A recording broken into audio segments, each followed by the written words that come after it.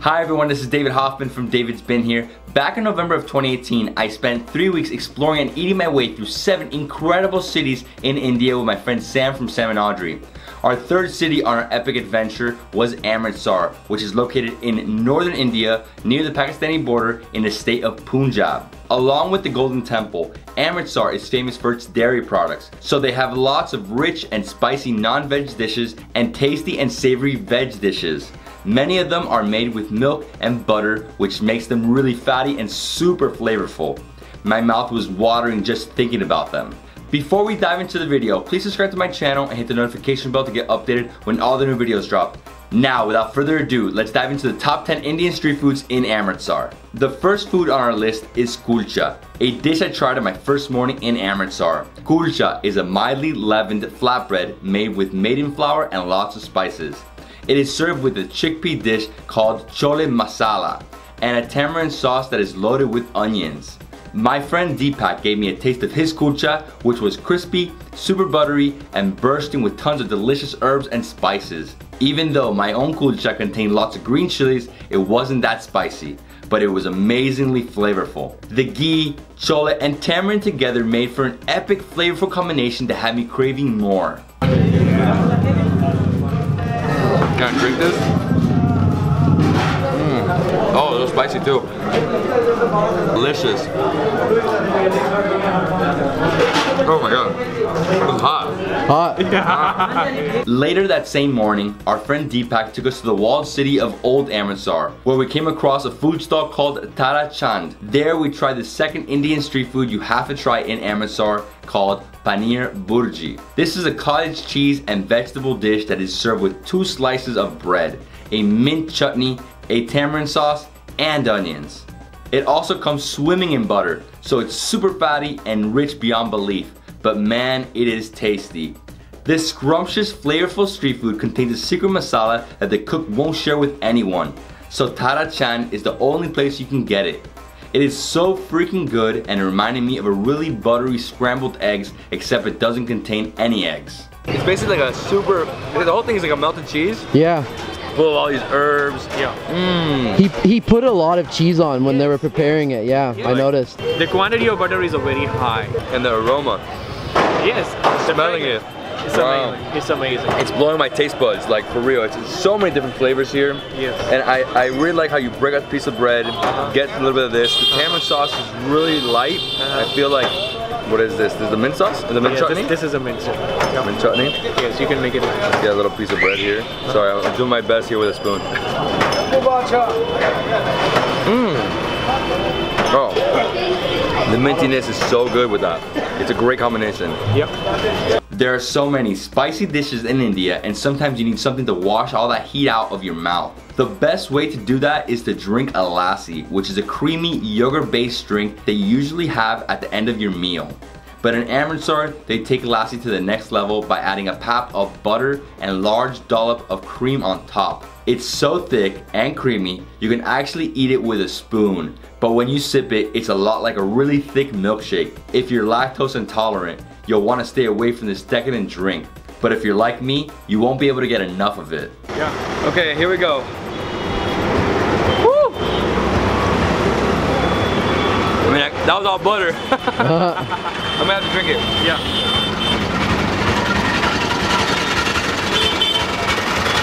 Oh, it's so good. How is it? Mm, it's like a super thick milkshake. Oh, it's super creamy. I love lassis. Every single day I was in India earlier this year, I drank one right after a meal. It's perfect. Mmm. I mean, it's super fatty, super rich, but it's a perfect thing to have after a meal to cool down the spice. Yes. When you visit Amritsar, you have to enjoy a meal at the historic Kesar de Dhaba restaurant. The recipes here have been passed down and perfected over the last hundred years, and one of their best dishes is their palak paneer. When I tell you this cottage cheese dish had my mouth watering, I mean it. It was filled with fresh spinach and loads of fragrant and delicious spices. The combination of cheese, spinach, and spices was like a full-on party for my taste buds. It was on a whole nother level of deliciousness. This is like a spinach curry, basically. A spinach curry. Oh, the aroma? Wow. The other star on Kesar Dhaba's century-old menu is the Maa Ki Dal.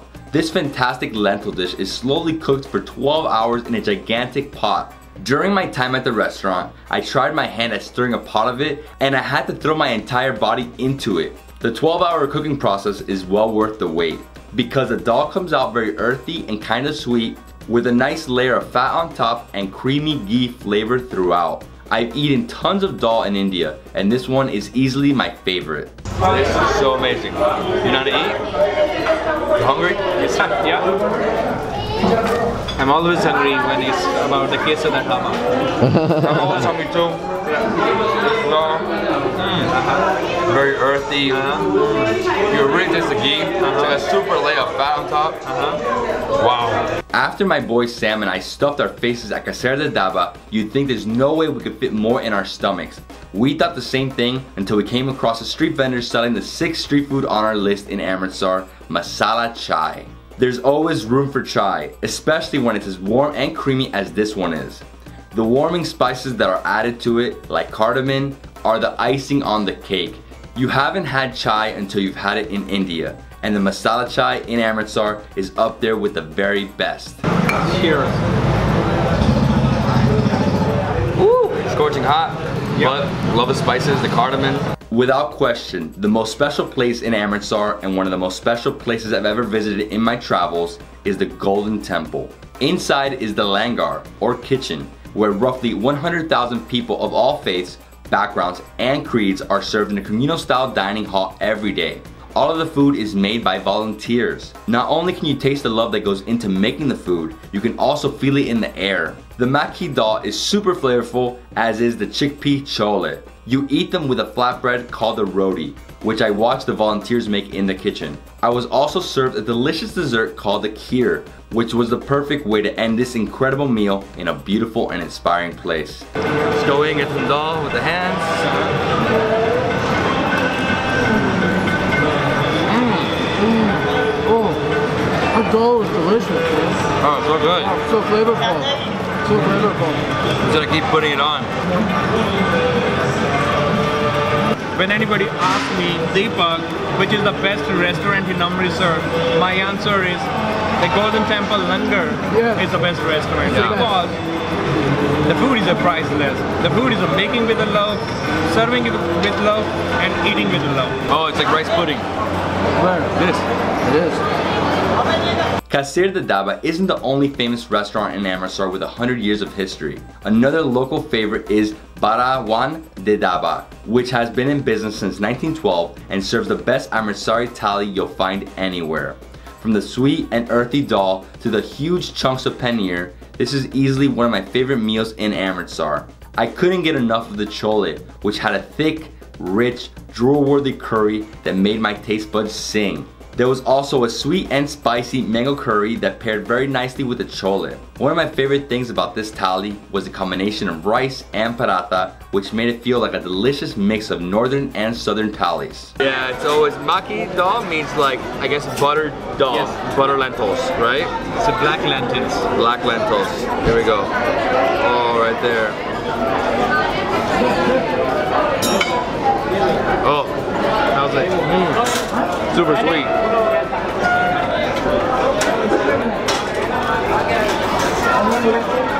Ah. The ninth food you absolutely must try when you go to Amritsar is all the different kebabs at Sahad restaurant near the Pakistani border. I cannot recommend their tender and juicy seekh kebab enough. The meat is super soft, almost like poached chicken. It is so tasty and is surpassed only by the dahi ka kebab, which is a fried potato fritter like patty with yogurt inside. It is served with a mind-blowing mint chutney. When it's combined with the herbs inside the patty, it takes the dahi ka kebab to the next level. These two kebabs are dishes you simply can't afford to miss. Oh, I'm in love with this mint chutney. Mm.